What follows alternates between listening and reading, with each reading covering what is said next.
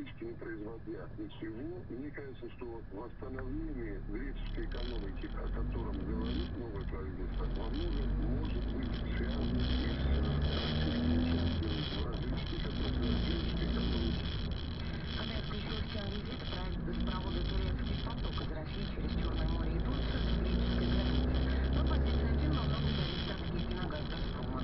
В ответ Греция может предложить российским компаниям участие в тендерах по разведку нефти и газа на шельфе Ионического моря. В Брюсселе сближение Афин и Москвы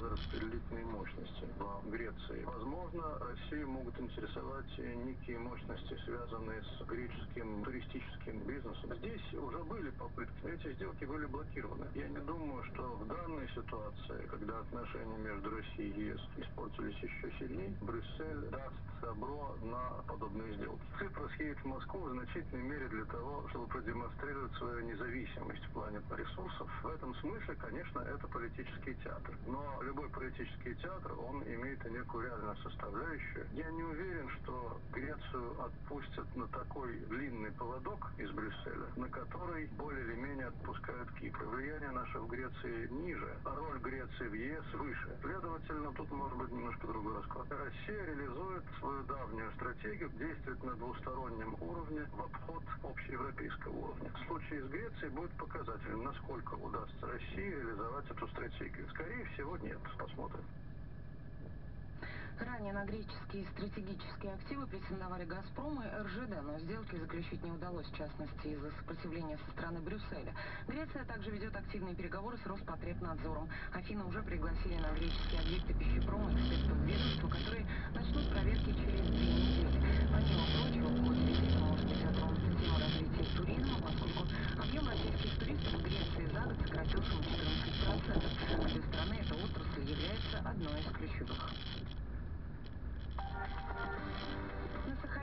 Приморье траур по погибшим морякам затонувшего траулера «Дальний Восток». Сегодня тела погибших доставили на остров.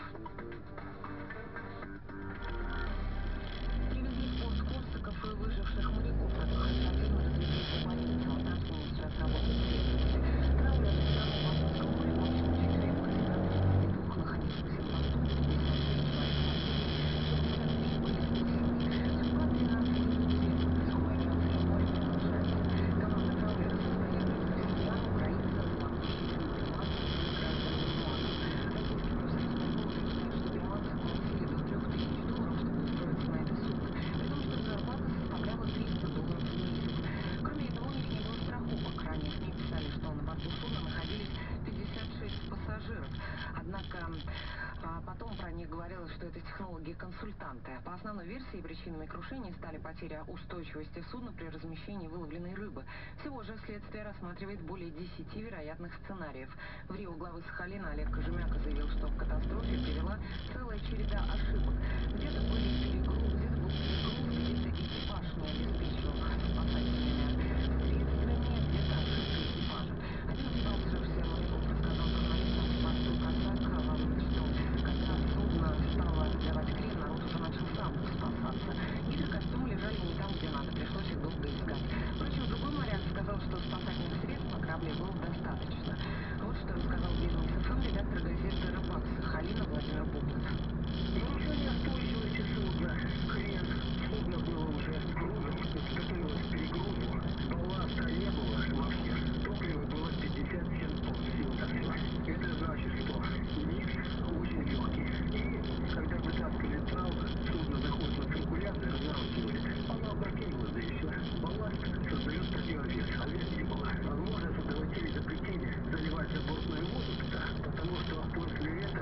надо будет в течение трех дней примерно Защищать танки, промывать их от забортной воды.